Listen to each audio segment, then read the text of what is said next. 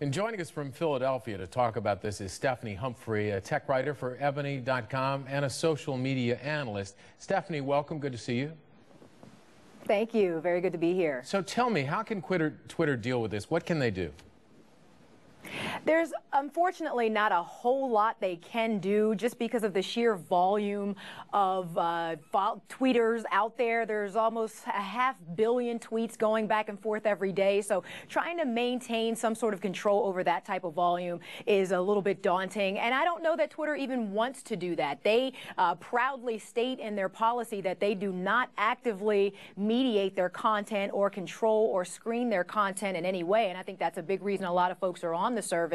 So it's a, kind of a catch 22. There's not a whole lot they want to do to try to quash that free speech aspect of their network, but there's also so many people on there that it's tough to get your arms around the whole thing. Isn't a big part of this that uh, these people are anonymous, they can say whatever they want, nobody knows who they are?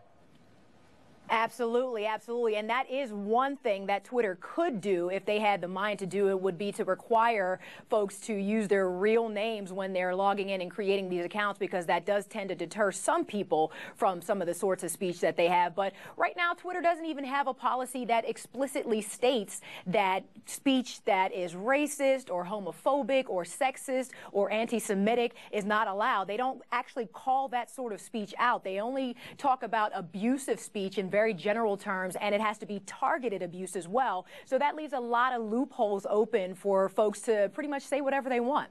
As they go public, though, don't they face more pressure to do something about this?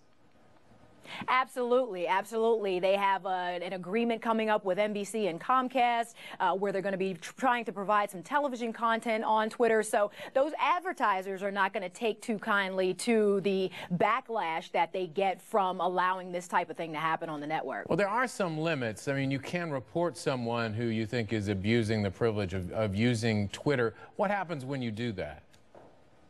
Well, you can. They did change their uh, their feed so that it's just a one-click process to report abuse. But what happens is it kind of goes in the bucket with everything else, and again, that whole volume issue comes into play there. So you don't know when exactly they're going to get to your situation in particular. And then once that happens, somebody is actually determining using some sort of subjective, really, uh, interpretation of their policy as to whether or not your particular report was actually abusive. Because if it doesn't actually contain uh, language that specifically threatens you directly or is targeted towards you specifically, they may not consider it abusive. They may just consider it offensive. And in that case, they just recommend that you block that person. You know, I don't want to, I don't want to minimize this because I mean, there's some really horrible things that are online, and it's not Absolutely. just it's not just Twitter. I mean, what's happened through social media and the anonymity of the net is that you see websites, hate-filled websites targeting all sorts of groups um,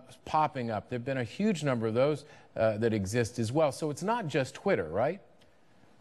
No, no, it's it's all across the web. And again, that whole cloak of anonymity is what kind of gives people, I think, a little bit more courage. But what has been happening or, with Twitter specifically and with some other sites or cowardice. Well, yeah, or that, or that, absolutely. But what's been happening with Twitter and some other sites is that the community has started to police some of these hateful things that come out. Because when there, uh, when all the tweets came out about Miss America, there were a couple of people in particular that got a whole lot of backlash from the Twitter community in general and ended up closing their accounts. And there have been a lot of different blogs and websites that are dedicated really to putting these people out there and kind of publicly shaming them and trying trying to get the behavior to change that way. So it has become a situation where the community is actually policing the network. Well, Stephanie, we hope to talk again more about this. It's a fascinating topic. Thanks very much.